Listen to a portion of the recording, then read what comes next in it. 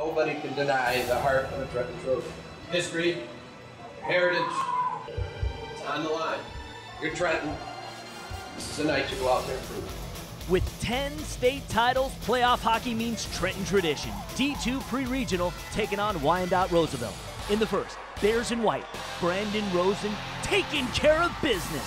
Back in the net, Bears up one after one. Wyandotte, Wyandotte! Wyandotte, Wyandotte! Early in the second, Roosevelt shorthanded.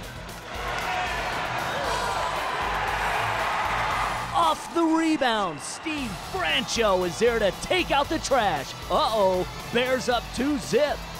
But the Trojans haven't lost a regional since 99.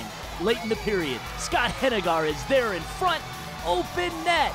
Trenton down one after two. No, they're not going to quit. They have some banners down there to show you they don't quit. This has to be your best period. Right here has to be your best period. But it would be the Trojans who came out firing. Camden Woy Tala stuffs it home, and we were not at it too. Five minutes to go in the game.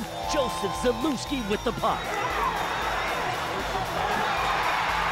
That would be the game winner, and the dream season continues for Roosevelt. Bears advance to the regional final, winning 4 2.